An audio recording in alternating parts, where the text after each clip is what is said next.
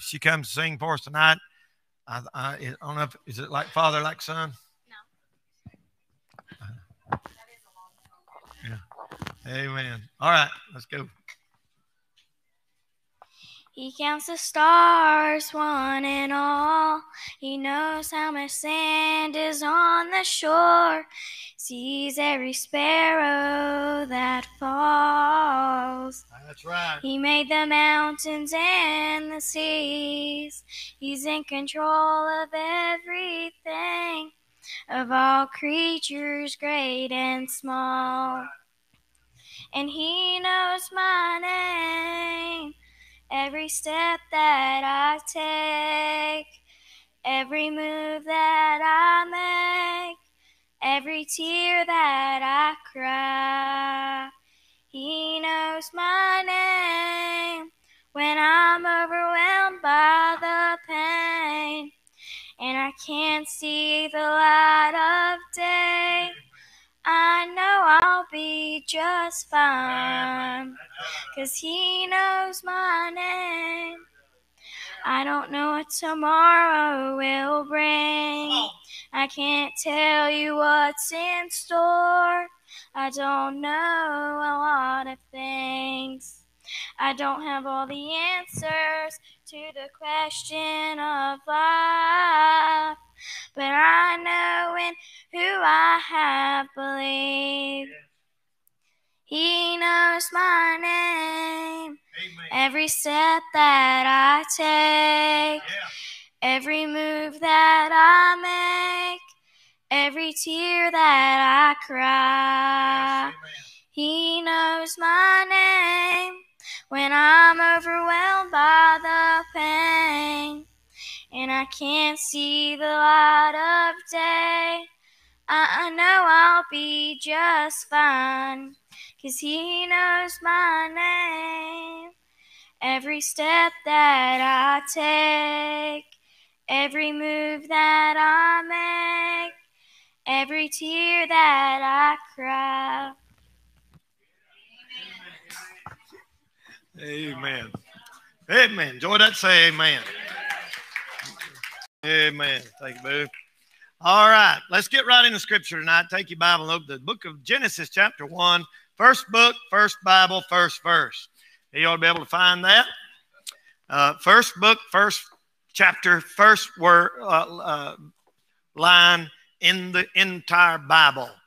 I want to uh, give you a little thought tonight. Won't be long at all. We'll uh, we'll go. Look here in Genesis chapter one, verse number one. In the beginning, they said that's where they found baseball in the Bible. In the beginning, uh, in the beginning, God. One, two, three, four words. It's three words and said God, and it's over three thousand times in the Bible. In the beginning, God. There's your answer right there, buddy. There's what the whole world needs to know. That's what the scientific world needs to know. In the beginning, God created heaven and the earth. And then it goes on, on, on, so forth and so on. I want to talk tonight and give you what I what what I'm gonna call some attributes of God. I thought about doing several Sunday nights because there's a bunch of what they call attributes of God. Attribute is a um, is a characteristic of something or somebody, something that stands out about them. And excuse me, the main characteristic of God, of course, is love. And then he's understanding and just and, and holy and all them things. Tonight, I want to look at the three most commonly talked about attributes of God. Now, this is nothing that you shouldn't already know, but a preacher, my job is to keep, keep, keep hammering and hammering and hammering things that we already know. Keep them nailed down tight. Keep them, keep the doors shut to the devil and, and the wickedness out there in the world, and to keep our hearts and minds in the right direction, on the right track. And the only way you can do that is by keep on hitting these same truths over and over and over. So uh, tonight, how, how are you going to uh, define God? Um, my goodness, uh, uh, what a subject. The Bible don't argue God's existence. The Bible don't go into detail to prove there's a God. It takes it for granted. The Bible just takes off in the beginning. God didn't like He's already there, and anybody with any sense knows that there's got to be a God. It just takes it for granted there's a God. And uh, they said that the word God uh, was considered so holy by a Jew in the Old Testament that when they, the scribes, uh, scribe's job was to copy the scripture. That's what a scribe did. Down just higher, please. And uh, a scribe's job was copy. That's what scribble. That's where we get scribble. Scribe, a scribe, and he would write. And the scribe job was it'd be like uh, uh, in the beginning, God created heaven and earth, and they wrote copies of the scriptures and passed them around and stuff like that. And they said, tradition says that those Jewish scribes, they would say, in the beginning, and before they'd write that name, would lay that quill down and pick out a brand new one that had never been used, like a new pen, dip it in that ink, and write God, and then pick the other one up and keep writing. That every time, that's how highly they reverend his name and how highly esteemed the name God was. And uh, people throw the word God around now like it's a joke, like it's nothing. Listen, when you talk about God, brother, you're talking about holy ground. That's why the Bible talks about profanity. People like people cussing, using God's name as a cuss word. That's a that's a terrible, terrible, terrible, terrible. Uh, in the Lord Jesus Christ as a cuss word. Even people claim to be Christians a lot of time use the name of Jesus or God in profanity. And his name is holy, like his love, like his goodness, like his, his cre- he's creator, he's ruler, he's all kinds of the source of moral authority, supreme being, all of that kind of stuff. But tonight, let's look at his three, what, what we would consider the main attributes of God. And the first one is God is omnipotent. Omnipotent. Now, that word omni means all, everything. Omnipotent means strength, strength. Um, like the impotent man down there was was weak; he couldn't get up. I had one old preacher got and he said, "Well, there's a lot of impotent folks down there. That impotent." He was talking about he meant impotent. That, like he said, he didn't thought he meant important, and it's not. It's Im, impotent means un, un uh, weak, unable to have strength, and so God is omnipotent. Um omnipotent. You thought about that lately, people? You thought about what that means? All power. God is, you know, people say Almighty God. That's exactly right. Almighty. Listen, the God that me and you serve, our God that we love and one we're going to live with forever, has absolute all power in heaven and in earth. He may, listen, uh, let me ask you something. People say, well, God, He ain't going to tell me what to do. Let me ask you a question. If you make plans, can God stop them? He sure can. One more time. If you make some plans, if He wants to, can He stop them? Yes, He can.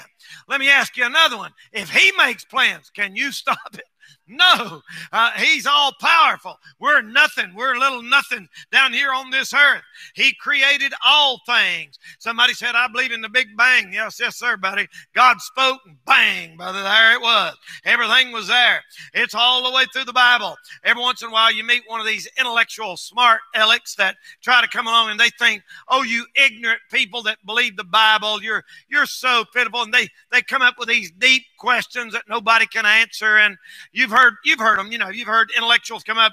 One guy coming up and he said, uh, "Well, let me ask you this: What happens when an irresistible force meets an immovable object?" And the answer to that is there is no answer. You know, how can an irresistible force meet an immovable object? Because if, if, if movable, it ain't unmovable, and if it's resistible, it ain't irresistible. So if an irresistible force meets an Im, immovable object, and the answer is the um, the uh, immovable object is shattered without moving, and the irresistible force is deflected without stopping. so I, I, don't know. It's like asking, can God can God uh, make a make a question he can't answer. That, that's that's ignorance. People sitting around doing that's old wise fables, uh, uh, worrying about stuff that don't exist. No way. Don't pay no attention to of stuff like that. Don't people like, oh, you people believe that God is God is everywhere. Yes, we sure do. You say, oh, you people believe God knows everything. Yes, we sure do. You believe God can do anything. Yes, sir, we sure do. Guilty as charged, brother. He can make an earthquake. The Bible said is anything too hard for God. Isaiah 44 and verse 24, he said, I am the Lord that maketh all things. John 10, 17 and 18. You know what Jesus said? You know why we know Jesus was God? Jesus said in John uh, chapter 10 and verse 17 and 18, he said, I lay down my life of myself. He said, I do it. Nobody, don't take my life. I lay it down and I can pick it, take it back up again. That was God in flesh. He can do anything. And uh, Ephesians 3, verses 20 and 21, the Bible said he's able to do exceeding abundantly above all that we ask or even think. God is able to do stuff we can't even think. think some pretty big things, can't you? I can imagine some great and wonderful thing. God is able to do way past anything that's ever even entered our mind. I'm telling you, ladies and gentlemen, He is omnipotent. He's able. He's able. Little kids sing, He's able. He's able. Our God is able. I, unless you say, well, Brother Danny, we know that. Well, sometimes we live like we don't know it. I'm going to tell you people hear something tonight. You hear me and hear me well. If God Almighty was powerful enough to hang this world on nothing, and He took care of His children through the uh, through the wilderness, and He preserved Noah and his family through a flood and kept them on a boat for over a year, He can take care of me and you in a pandemic or a storm or whatever we're going through. He's able. Amen. He's able. He's omnipotent. He's omnipotent. But let me say, secondly, tonight, God is omniscient. Omniscient. That's got that word science in it. Omniscient. Omniscient. Omni science. All knowing. Not only can he do everything, he knows everything. He knows all. He sees all. He, he said, I'm the Lord. I, I change not. There's none else, none like me. In Isaiah chapter 46, he said, I declare the end from the beginning. God don't know, I only know everything that's going on. He also knows everything that's ever happened, and at the same time, everything that's going to happen. But that's why you'd be better off to put your life in His hand. Let Him make a call the shots. Because He knows. He knows. Uh, uh, he knows, brother. He has neither beginning or in ending. He knows every sparrow that falls and hits the ground. Was out there visiting yesterday with Pinky. Maybe they're watching tonight, and uh, me and him sitting out on the front porch. There's the prettiest bird coming down in that yard. And he had a bird bath right there, but his wife goes out there and puts seeds in there and, and feeds the birds. Big old blue jay, big old thing. I, I, said, Is that a blue jay out there? And in a few minutes, here was a cardinal, just a red bird. That's a weird thing if you're an evolutionist. How did that thing evolve so bright red if they all evolved to match their environment?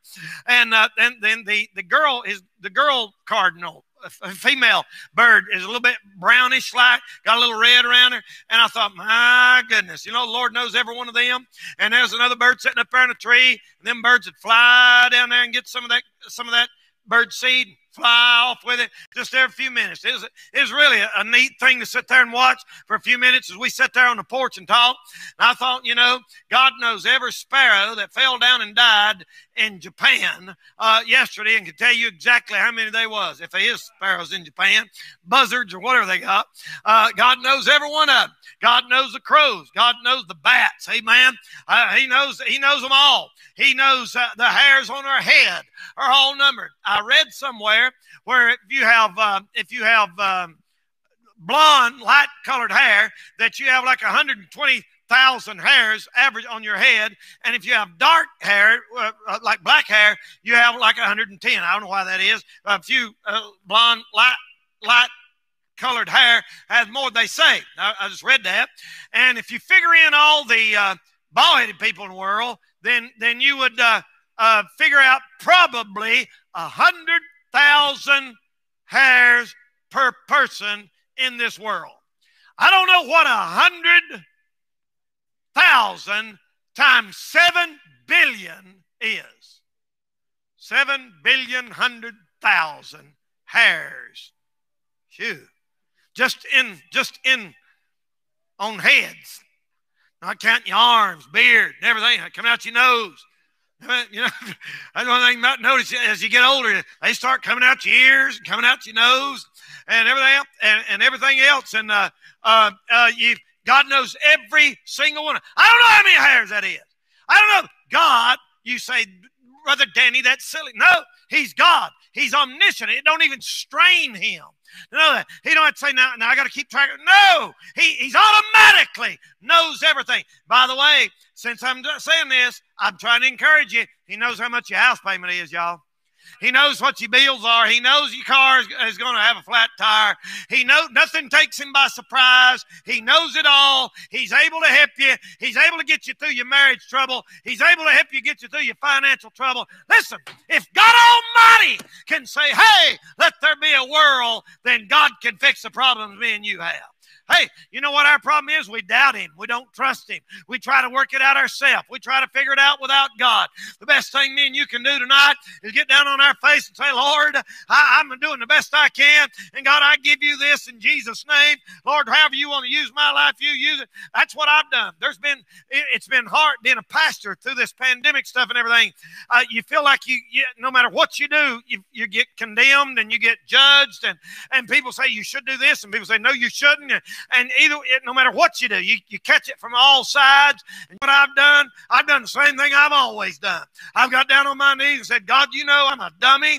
God, you know I'm just a little child. I know not how to go out or come in. I don't claim any great knowledge or ability. Lord, I'm begging you to help me and lead me. And brother, you cannot improve on doing that for your life. Put your life in his hands.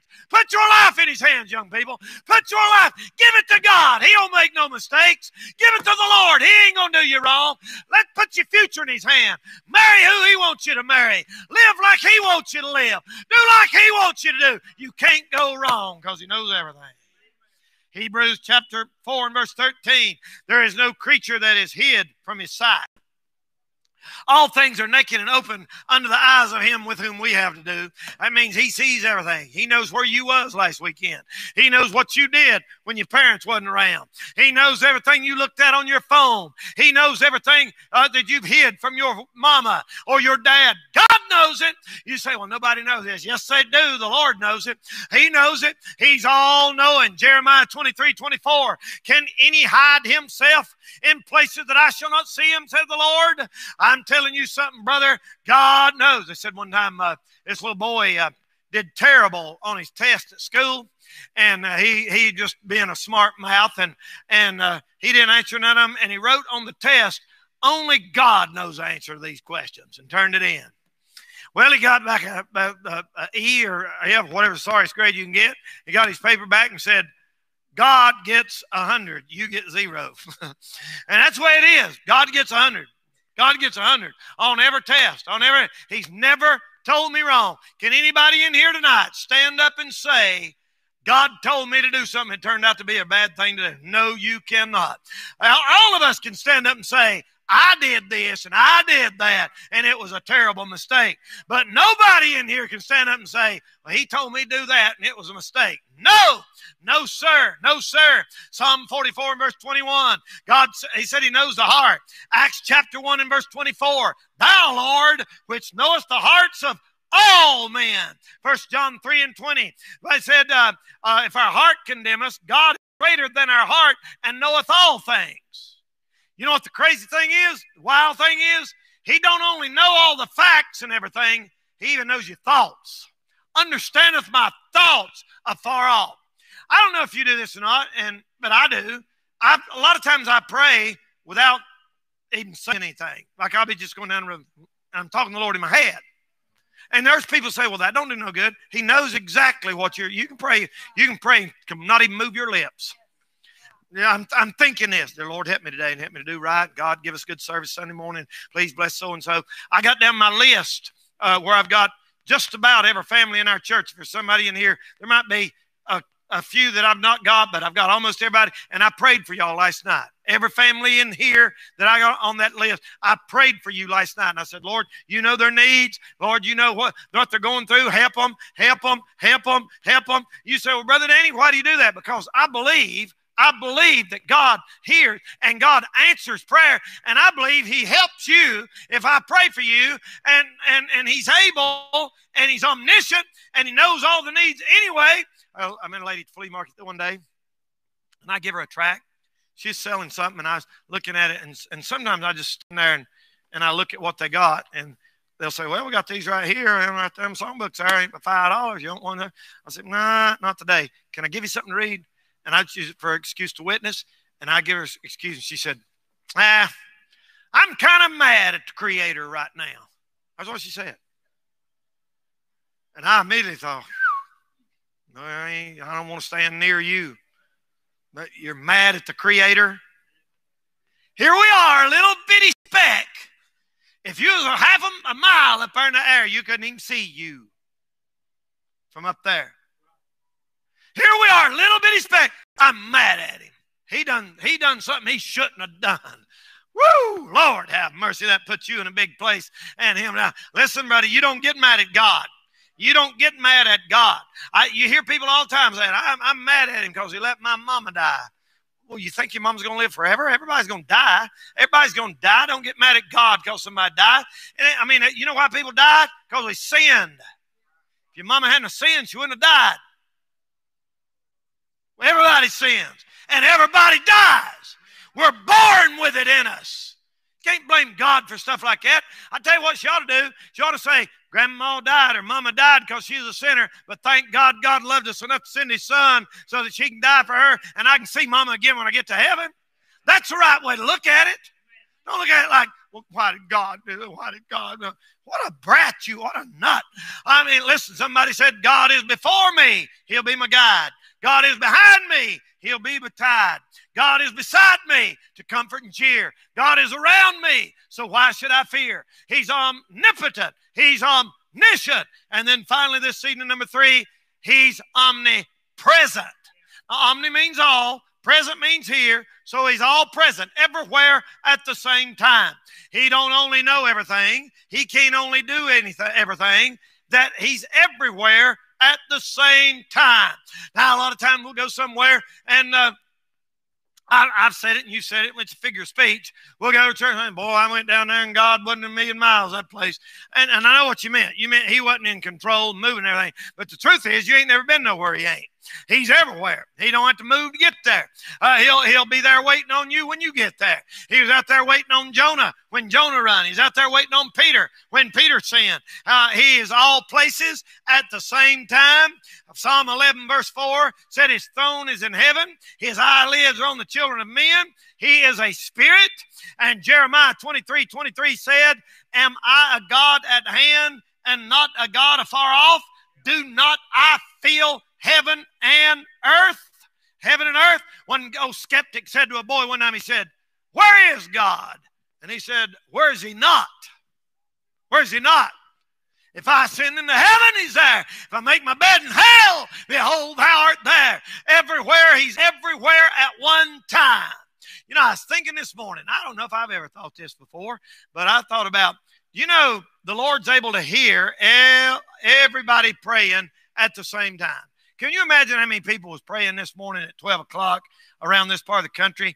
Oh my goodness, millions and millions and millions. There's millions of people praying right now, right now, praying. And the Lord can hear every one of them, every one of them. That's amazing me. I, I thought about this.